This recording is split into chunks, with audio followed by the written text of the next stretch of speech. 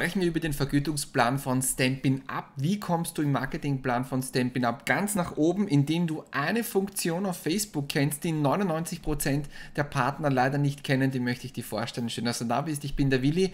Ja, in 30 Tagen habe ich 110 neue Kunden und Partner generiert.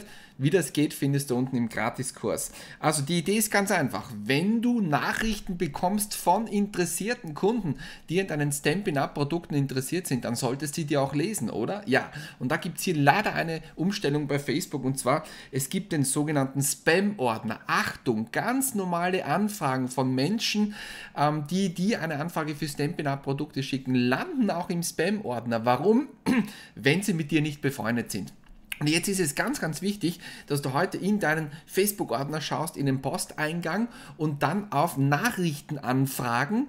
Wenn du bei Nachrichtenanfragen, Achtung, ganz nach unten gehst, dann kommt ganz kurz eine Zeile, eine Einblendung, die nennt sich Spam. Und dort schau bitte rein, weil viele Stampin' Up-Partner haben dort Anfragen liegen. Wenn du jetzt wissen möchtest, wie kannst du mit Facebook dein Stampin' Up-Business aufbauen, unterhalb von dem Video findest du meinen Gratiskurs. Ich wünsche dir, dass du im Vergütungsplan bei Stampin' Up ganz ganz nach oben kommst. Rock it, bye bye.